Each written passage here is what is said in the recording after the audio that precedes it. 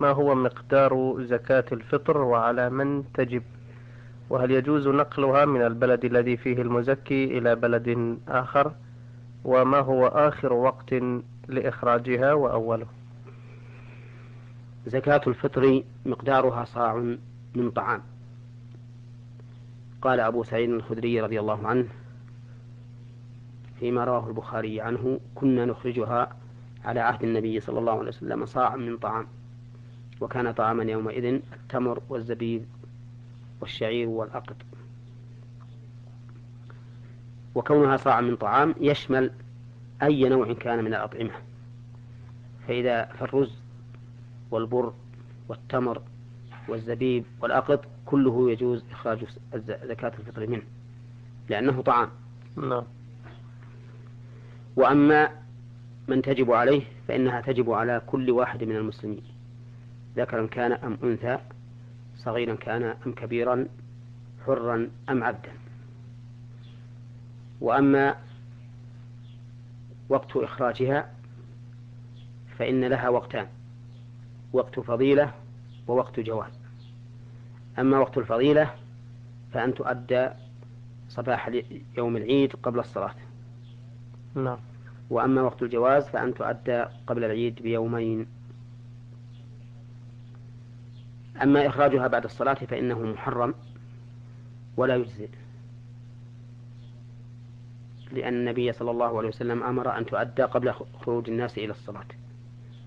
فإذا أخرجت بعد الصلاة فقد فعلت على وجه لم يأمر الله به ولا رسوله. وقد قال النبي صلى الله عليه وسلم من عمل عملا ليس عليه أمرنا فهو رد. وفي السنن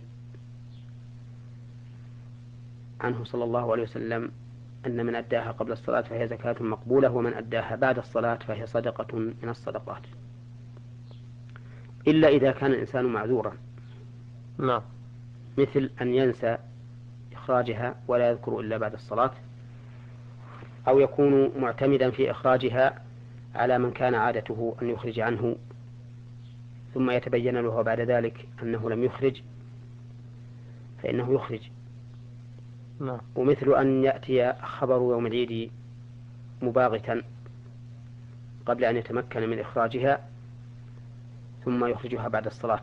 ففي حال العذر لا بأس من إخراجها بعد الصلاة وتكون في هذه الحال مقبولة.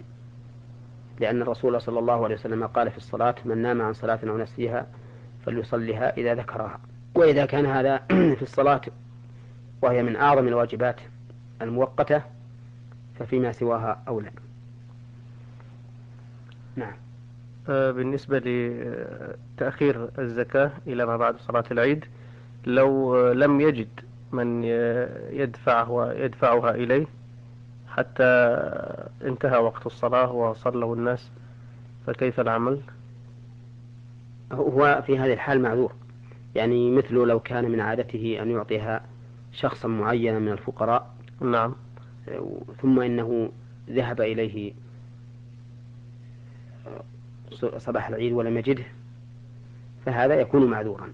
هذا من من الأعذار. من الأعذار. نعم. آه، بقي الحكم في نقلها إلى بلد آخر؟ أما نقلها إلى بلد آخر فإنه لا بأس به لكن الأفضل أن يكون في بلده الذي وجبت عليه الزكاة وهو فيه. فإذا كان مثلا من أهل الرياض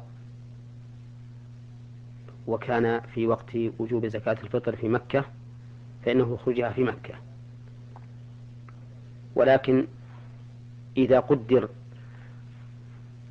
أن من كان خارج بلده أحوج أو أنهم يتميزون عما في عمن في بلده بالقرابة إليه مع حاجتهم فإنه لا حرج.